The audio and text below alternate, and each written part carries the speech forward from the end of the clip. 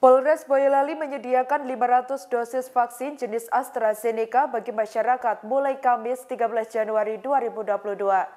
Diketahui masyarakat yang ingin segera mendapatkan vaksin booster bisa mendatangi Klinik Pratama Bayangkara, Boyolali Kota, Jawa Tengah. Atas informasi tersebut diketahui masyarakat yang telah mendapat vaksinasi dosis 1 dan 2 jenis Sinovac bisa mendapat suntikan booster ini. Dikutip dari tribunsolo.com pada Kamis 13 Januari 2022, Kabak OPS Polres Boyolali, Kompol Budiarto membenarkan informasi tersebut. Ia mengatakan saat ini Polres menyediakan vaksin booster AstraZeneca yang diperuntukkan bagi masyarakat yang sebelumnya mendapat vaksin Sinovac.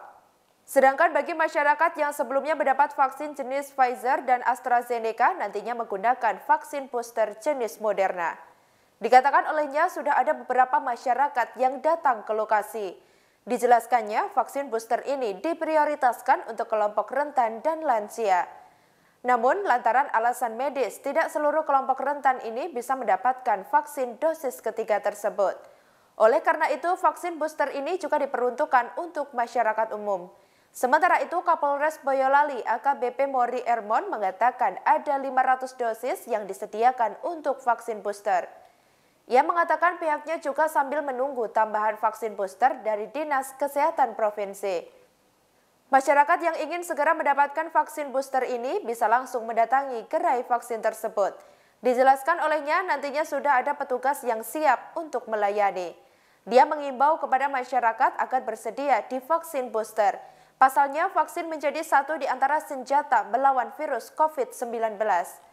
Selain itu, pihaknya mengingatkan agar masyarakat tetap mematuhi protokol kesehatan ketat, seperti menghindari kerumunan, memakai masker, mencuci tangan, menjaga jarak, dan mengurangi mobilitas.